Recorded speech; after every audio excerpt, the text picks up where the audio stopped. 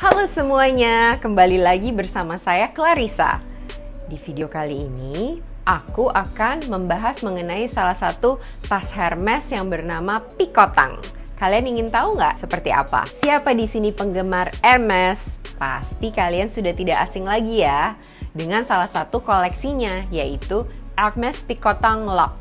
Nah, Hermes Picotang Lock ini adalah tas yang berbentuk bucket dirancang oleh pengrajin khusus atau kita sebutnya di Hermes adalah craftsmanship.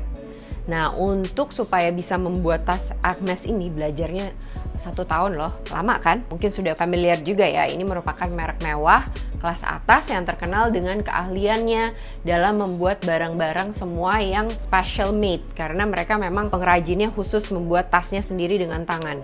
Ada beberapa yang memakan waktu satu bulan, ada juga yang memakan beberapa bulan. Nah itu hasilkan tas yang memang kalau boleh dibilang avant-garde ya. Nah, tas Hermes Picotang Luck ini dia menjadi satu-satunya tas yang berbentuk bucket. Makanya dia uh, sangat spesial. Hermes Picotang Luck ini dapat kamu dapatkan di toko, tapi balik lagi ke keberuntungan kalian. Karena seperti yang kalian tahu bahwa tas Hermes ini mau model yang mana pun juga susah didapatkannya di toko apalagi untuk yang exotic leather atau yang dari kroko atau dari ostrich itu lebih susah lagi.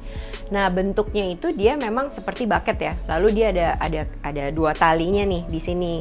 Nah ini nih biasanya kita handle-nya seperti memegang biasa gitu ya di tangan gitu ya, seperti tas jinjing lainnya. Selain itu ada aksesorisnya yaitu dia ada locknya, Nah, ini di sini ada locknya nih. Kalau misalkan ada yang gold, ada yang juga yang silver, itu tergantung dari masing-masing tipe tasnya juga dan warnanya dan juga leathernya ya. Untuk size ada tiga size, yaitu size 18, 22, dan juga 26. Tapi yang paling favorit adalah pasti size yang paling kecil atau size 18 biasanya kalau size 18 yang tadi saya sudah jelaskan sebelumnya yaitu dia dijinjing seperti ini. Dan juga size 22 itu 22 cm juga merupakan size favorit tapi tetap orang lebih memilih size 18 size 26 itu biasanya yang mengoleksi itu adalah laki-laki. Karena memang size-nya agak besar ya jadi bisa dipakai untuk traveling juga gitu. Itu merupakan uh, salah satu perbedaan antara size 18, 22 dan 26 Hermes Picotang Lock ini dirancang memang dibawa di tangan. Namun tidak menutup kemungkinan sekarang banyak juga yang menggunakan kayak semacam strap gitu ya. Jadi dia bisa di sampingnya nih. Kan di sini ada handle-nya nih yang buat nutup.